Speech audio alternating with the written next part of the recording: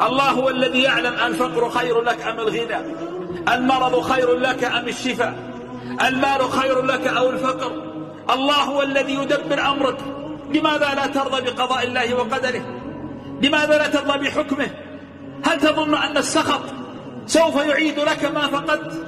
من رضي فله الرضا ومن سخط فله السخط فارضى ارضى تعامل مع الكريم الرحيم.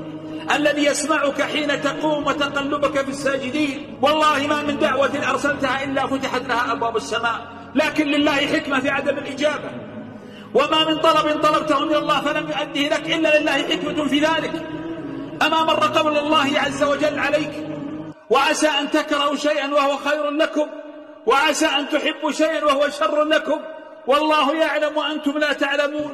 لا بد أن تعلم أن الله تعالى يعاملك برحمته يعاملك بحكمته.